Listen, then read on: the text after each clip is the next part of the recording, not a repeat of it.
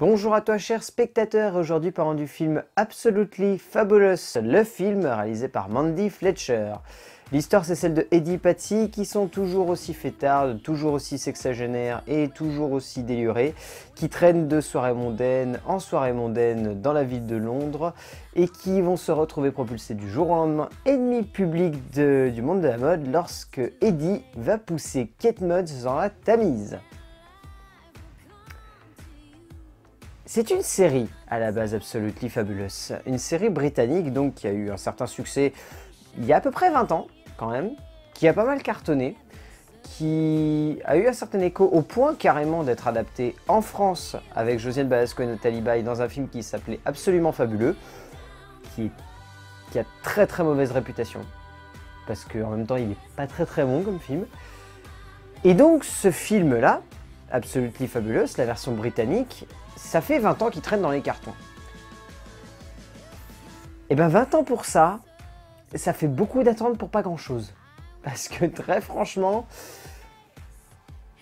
c'est loin d'être un grand film, Absolutely Fabulous. C'est un film comique plutôt bien rythmé, mais qui manque tout simplement d'ingéniosité de créativité en fait c'est pas le genre de long métrage qu'on va voir en se disant qu'on va non plus connaître une révolution cinématographique, mais on se dit quand même que l'humour anglais, il peut aller beaucoup plus loin que ça. Déjà au niveau de l'écriture, Jennifer Saunders, qui joue le personnage d'Eddie en plus, elle n'a pas écrit un scénario vraiment palpitant. Parce qu'en soi, le scénario se repose beaucoup trop sur la série. Euh, les personnages ne sont pas du tout réintroduits. Euh, on ne connaît absolument aucune de leurs habitudes, on arrive à peine à resituer certains personnages. C'est extrêmement maladroit en fait, parce qu'on sent qu'elle a voulu faire un film qui soit indépendant et qui puisse se regarder seul, mais elle prend ces personnages comme acquis pour le spectateur, comme s'il devait déjà les connaître et comme s'il devait déjà les resituer au cœur de l'aventure qu'elles vont vivre. Or, les premières minutes sont extrêmement perturbantes lorsqu'on ne connaît pas du tout l'univers de la série. On se retrouve avec deux personnages complètement délurés, et dans les dix premières secondes, on ne sait pas qu'est-ce qu'elles foutent là, et ce qu'elles veulent faire, et en quoi ça fait partie de leur quotidien. C'est vraiment un gros gros défaut. Les, cinq premières minutes, si vous regardez le film, les cinq premières minutes sont vraiment un foutraque. En gros, on jette les informations et on n'explique rien du tout au spectateur. Et il y a un peu ça tout au long du film. Il y a un peu ce manque de vouloir développer l'ensemble comme un long métrage. Et ça pose qu'une série de sketchs, comme si on était dans une série télé, et pas dans un film de cinéma. Pour le coup, histoire de faire une comparaison un peu dans le même style, le film Entourage l'année dernière avait au moins l'idée de reprendre vraiment les mêmes personnages et de les mettre au cinéma, mais il cherchait quand même à les réintroduire en tant que personnages au cœur d'un film. Et ensuite de développer une histoire de cinéma, avec une vraie ligne narrative et un vrai fil rouge. Là, la mort de Kate Moss, bah, c'est un fil rouge qui débarque déjà en milieu de film. Et ensuite, c'est un fil rouge qui tient quasiment pas la route, puisqu'en fait, il ne remet jamais en cause les personnages, ou il ne se place jamais comme un vrai fil rouge. Il se place simplement comme un objet jeté en plein milieu du film, qui sert vaguement d'équilibre dramatique et de relance narrative, au long métrage. Ça nous laisse un peu perplexe. Et puis, la mise en scène de Mandy Fletcher, elle est...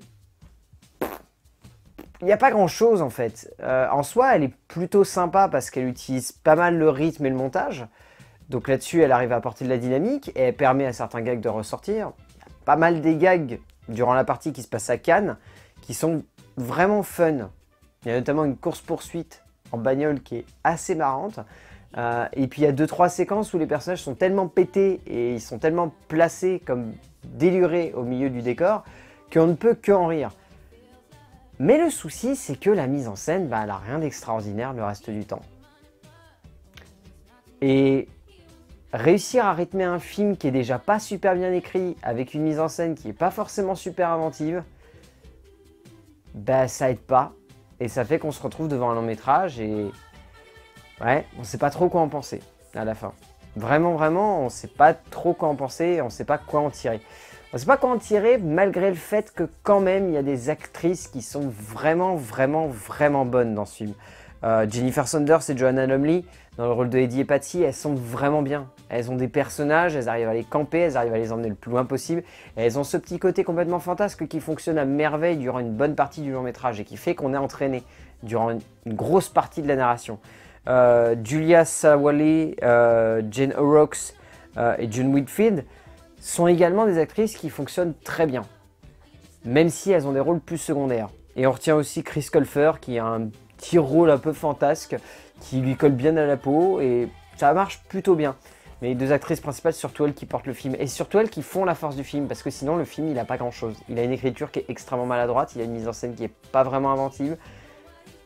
Au final, Absolutely Fabulous le film, c'était un film qui n'était pas obligatoire.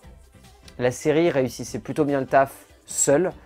Et le long métrage, finalement, pointe du doigt les énormes défauts qu'il y avait sur la série, c'est-à-dire qu'en gros, ça ne tient pas du tout la route sur la longueur, en fait. Et c'est uniquement au cœur d'une toute petite histoire que les personnages de Eddie et Patsy arrivent à vivre, mais pas au cœur d'un long métrage. Absolutely Fabulous, le film de Mandy Fletcher, je vous conseille pas vraiment parce que c'est moyen. En fait, c'est juste moyen comme film. Soit vous allez vraiment aimer, soit vous allez trouver le film beaucoup trop pété pour être vraiment intéressant. Donc si vous voulez essayer, pourquoi pas, mais en tant que tel, pas vraiment, je vous conseille pas vraiment. A plus